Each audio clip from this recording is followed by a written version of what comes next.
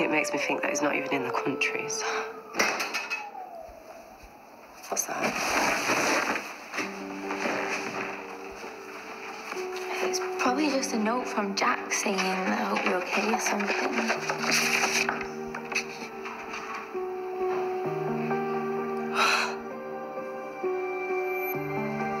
I have it on good authority that you did a stellar job, my friend.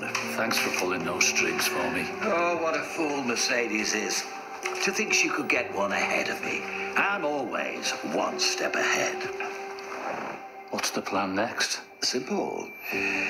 Tie up a few loose ends first, and then wait.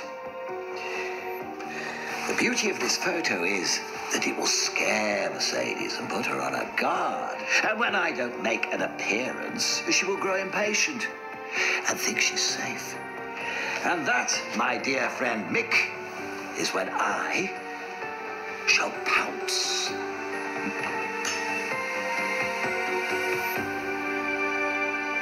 Thanks to you, Mick, I am one step closer to destroying the McQueens. And nothing is going to stand in my way.